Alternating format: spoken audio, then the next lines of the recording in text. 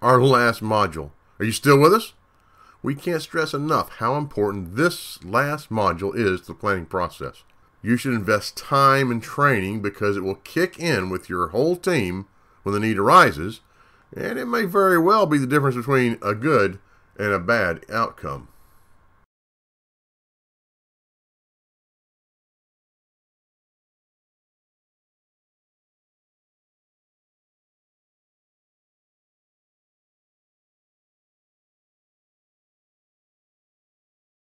So, in the last module, you were challenged to write the plan. Before we go further, I want to remind you that the plan, the written document, is not as important as the planning process itself. That planning process is what introduced you to your local partners, brought strengths and weaknesses out in the open, and started a dialogue so you can understand the expertise that each partner brings to the table. Remember, it's not a good idea to just get around to exchanging business cards during the disaster. Create that relationship ahead of time through the planning process. A second take home we'd like you to remember you must train your staff to your plan, and you have to maintain familiarity with the plan for proper implementation. This module will cover some suggestions about training your staff and how to maintain your plan so it's current and as useful as possible. So, you've had the right partners in the room and you've written the plan. Before we dive into training and maintenance, you need to recognize who needs to actually approve your plan. This will vary from facility to facility, from jurisdiction to jurisdiction, but make sure that even if your administrators, owners, operators have not been really engaged in the planning and running process, and sometimes they're not, they will need to review the plan for themselves and sign off on it. They must know what the plan says and that their employees will do what it says. Because from a business perspective, they are accountable for those employees to execute the plan. However, who else should approve your plan? You must consult with the actual people who are expected to execute the plan. If they're not directly involved in the planning process, at the very least, please have them review the plan. If the staff does not feel that they can execute the plan, it's best to know that before you attempt to implement the plan.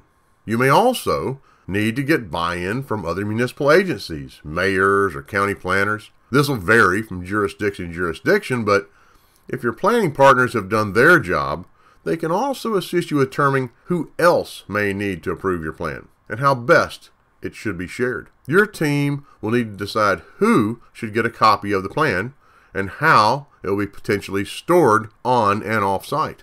Facilities may want to have electronic and paper copies of the plans stored in various locations across the property. Grab and go sheets can be very helpful in stressful situations when it's easy to forget some of your training. That one pager can be very helpful. Make sure that your first responders receive a copy if requested. Remember, in larger jurisdictions, there are shifts of responders, some of whom may know nothing about your facility. As an example, say that something happens at your facility in the middle of the night when there's no staff on grounds. The police officer who is dispatched would serve as incident commander. He or she may benefit greatly from being able to grab a copy of your plan as they head into the scene.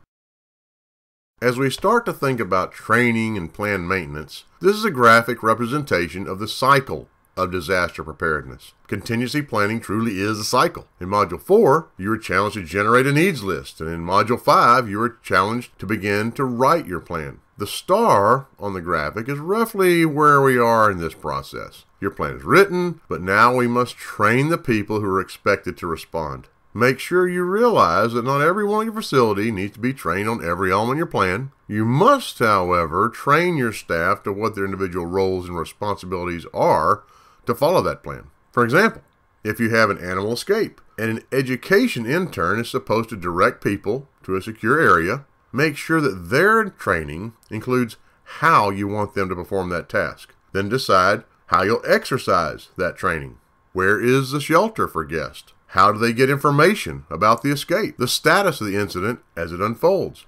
And how do they get the all clear once the incident is under control? They don't need to understand the drug dosages nor response strategies for your recapture team. Only after you have achieved plan approval and properly trained your responders can you implement your plan? Note that the cycle continues. If an incident happens and the plan is implemented during a response, an evaluation should be performed that discusses the strengths and, equally or more important, the weaknesses of both your plan and your response. That allows you to identify new risks that perhaps you didn't recognize in your first planning effort Take those lessons learned and generate those new needs like you did in Module 4. And then modify your plan to better address the hazards next time it happens. Don't ever think about planning as a one and done situation. We'll discuss later in the module some of the recommendations for keeping your plan as updated as possible. When it comes to training, remember your people must be trained on the portion of the plan that they are expected to implement. Identify those specific tasks, whatever they may be, and make sure that your staff knows what to do. Even if it's seemingly as simple as directing guests to a parking lot in case of an evacuation. It helps to think about the who, what, when, where, how, and why of the training. If your facility plans on creating a storm rider team, think about the types of training they will need, from animal husbandry to carpentry to any other task you expect them to do. This is why you must choose your Storm Rider team members carefully. You must also consider that the Storm Rider team members must be prepared themselves to respond. They must have their own household plans in place if they're supposed to respond at work. In the workbook, we provide some information about preparing jump packs and other tips for your response team members. As you write your plan, it's good to discuss what training exercises will be needed to implement it. Consider what actions require rehearsals, which responders need to participate with you in that training, those types of things. Evaluate what incidents are the most likely that may require more intensive training and exercises. Again, rely on your partners in preparedness to help you assess what type of training and exercises should be developed to allow you to execute your plan.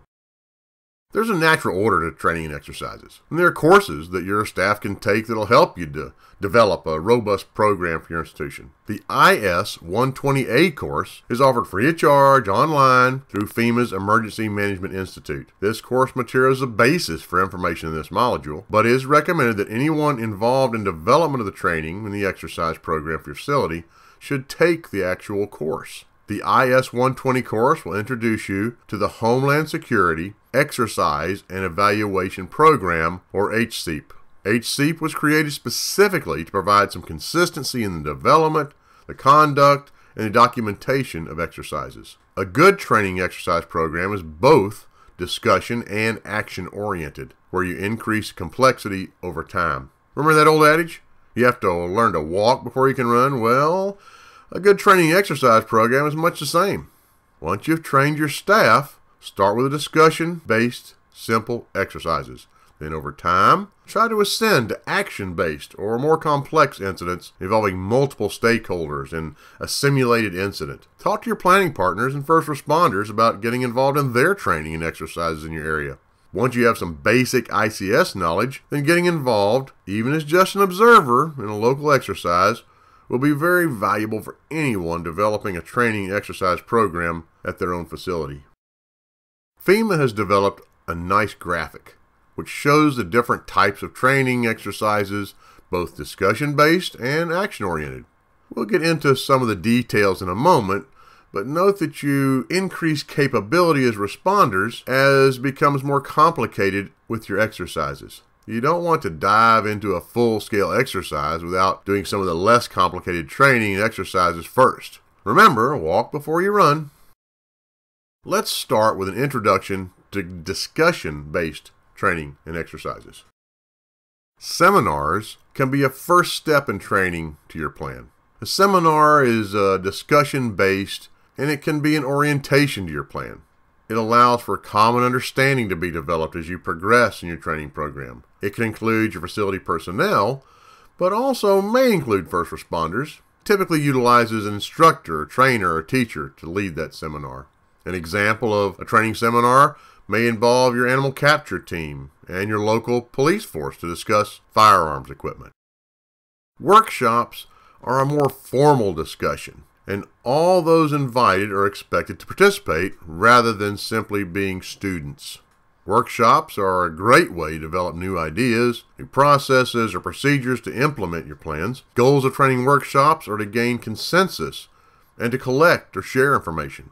Workshops may focus on one area of your plan or the plan as a whole. A written product or protocol should be the outcome of a workshop, such as an approved animal escape protocol, where roles and responsibilities of your escape team and your local police are documented in writing. Tabletop exercises are still discussion based, but things are beginning to get a bit more complex.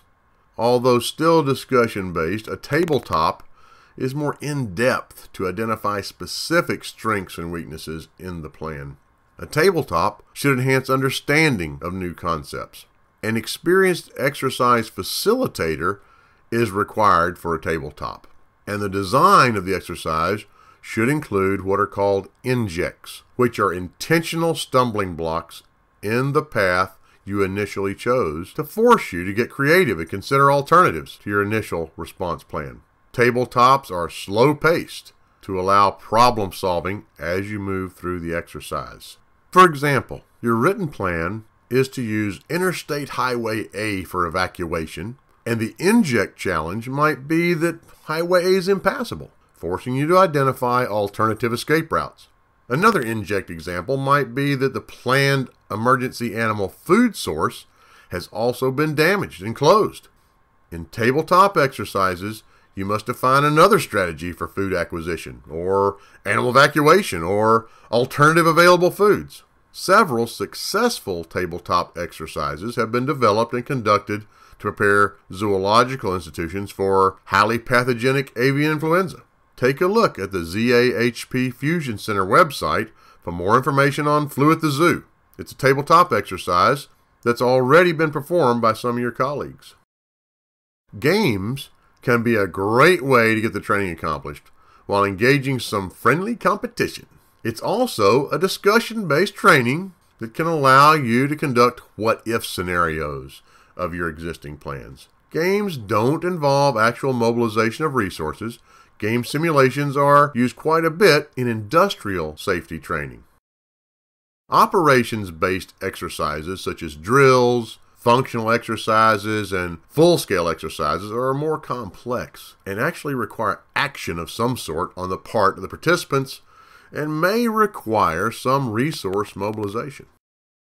Drills are the first type of exercise on that FEMA scale where the participants are actually required to do more than just discuss the plan. We're all familiar with fire drills. These are operations based. You hear the alarm, you stop your work, Perhaps you lock your office and then proceed to your designated meeting space. Drills are designed to allow you to actively practice and maintain your existing skills. Drills are a great way to break down elements of a more complex exercise to follow into simpler pieces to be individually evaluated and improved. The physical practice reinforces training, strengthens that muscle memory, so things become more automatic in terms of your training.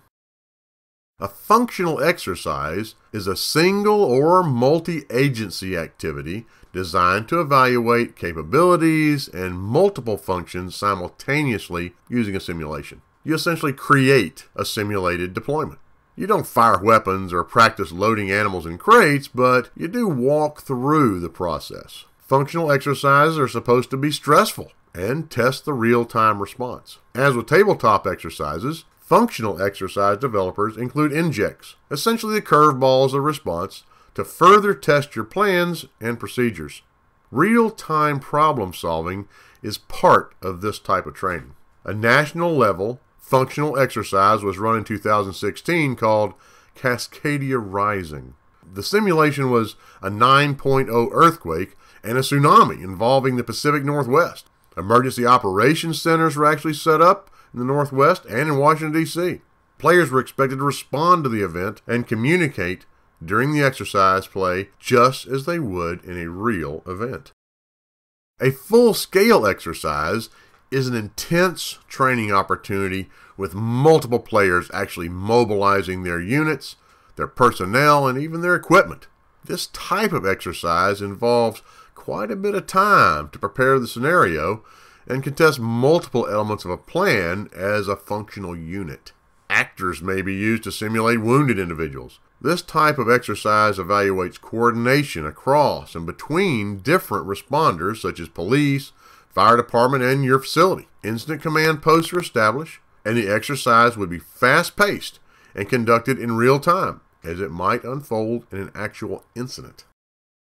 These photos are used with permission of the Detroit Zoo, who conducts various exercises with their first responders.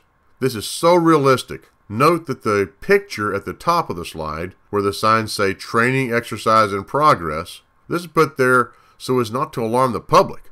Fire, EMS, police, and zoo all working together. They even had actors acting as victims.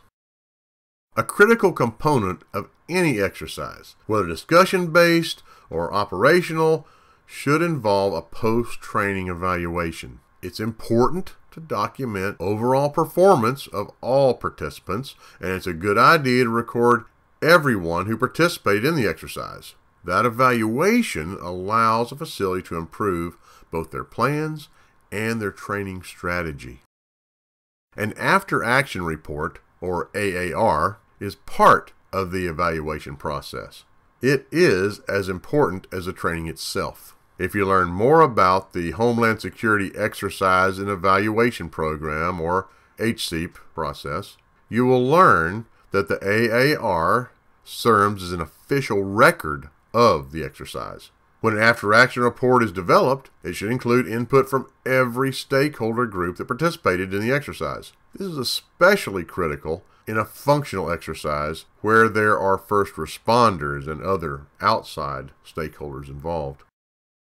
Lessons learned from training exercises should be recorded and shared. Sound programs rely on the lessons learned from earlier exercises or event responses. Incorporate those lessons learned to improve your plans, your training events, and other exercises. If you're participating in a HSEEP compliant exercise, the after action report captures those lessons learned.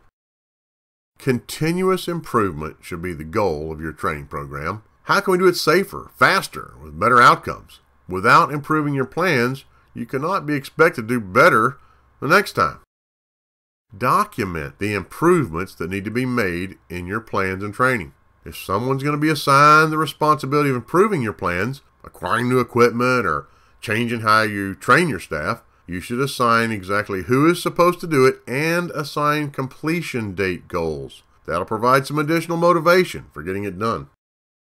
Remember, you only need to train personnel on what you expect them to do in a response. Whenever possible, try to make your training engaging and your exercises realistic and challenging and fun. An actual incident will certainly be challenging. Talk to your local partners, your planning team members, and see how you can train and exercise together. Your facility might be a great venue to host drills and exercises. You'll find that your partners enjoy an excuse to do something out of the ordinary, like coming to your facility for training. Training to your plan must be done, but maintaining your plan is another critical component of the planning cycle. Pull out that plan at least annually, or as new risks or needs are identified. Certainly, after every actual incident or every exercise, review your plan. Decide whether things require updating or changing. Plans that sit on the shelf and are never reviewed and updated as new hazards are identified will not be as valuable. The take home points for this module are very important, regardless of your business model or the type of collection you maintain. You must train your staff on the plan which you expect them to follow. Training is not enough.